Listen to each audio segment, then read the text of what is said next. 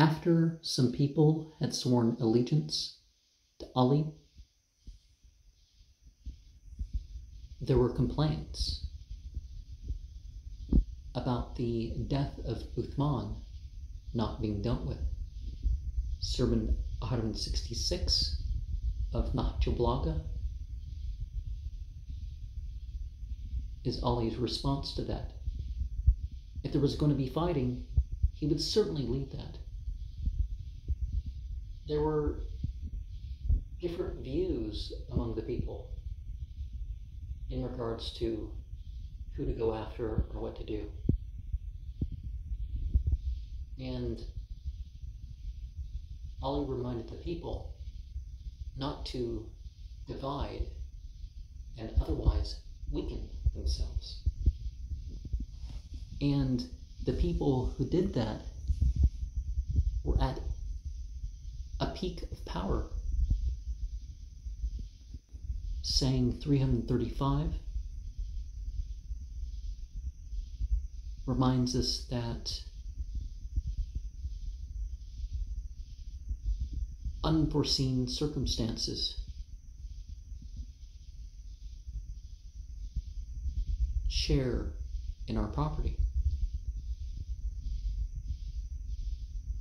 There's our inheritors, and there's what we lose through accidents. Saying 336 reminds us that promises take away from our freedom. Saying 337 reminds us that we need to make effort in our prayers. So when something becomes easy and automatic and all that, it's time to add more, of course, is implied. But then again, some of us need to make the effort to maintain.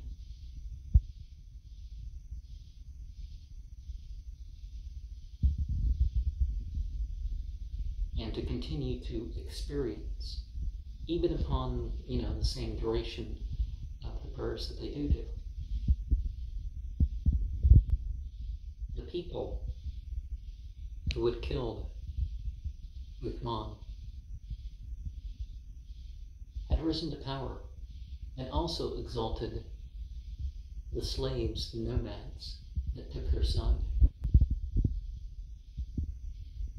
When things are not so known who did what or what to do about it, focus on your own contentment.